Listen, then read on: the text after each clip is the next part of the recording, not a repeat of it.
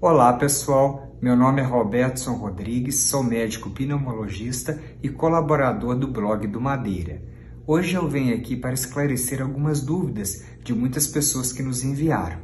Uma delas é: quais são as principais sequelas ou consequências da Covid? Por quanto tempo elas duram e o que fazer para minimizá-las?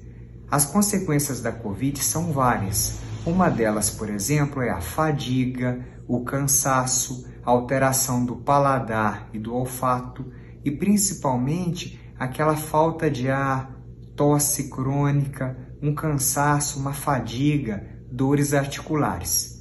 Nós não sabemos ainda quanto tempo esses sintomas duram, mas na prática eles costumam durar em torno de 3 a 6 meses, e isso, é claro, depende de cada indivíduo.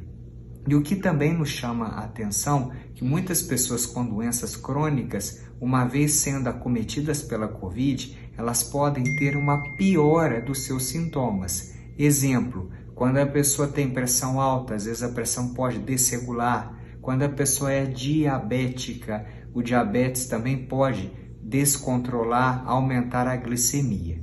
Então é importante que todos nós saibamos dessas consequências e que procurem um médico quando necessário para que sejam esclarecidas todas as dúvidas. Como minimizar essas sequelas? É essencial procurar um médico para o médico saber exatamente o que vem acontecendo com cada indivíduo.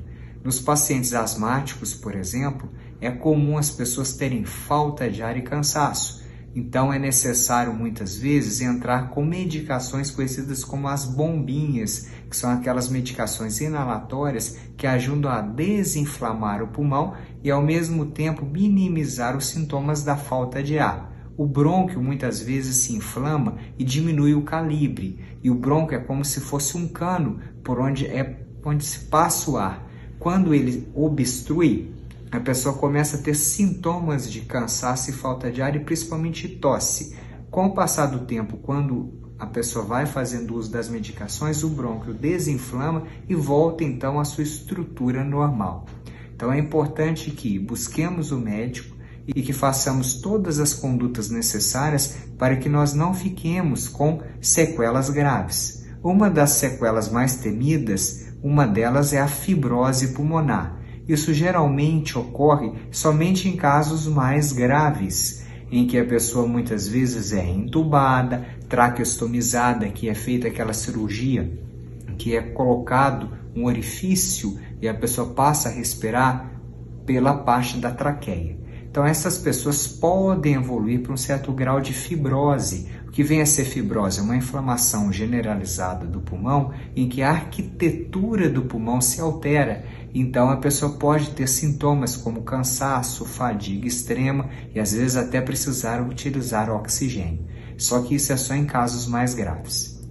Claro que nós aqui falamos um pouco das sequelas da Covid, existem outras, mas é essencial que cada um procure o seu médico e faça uma consulta. Um grande abraço.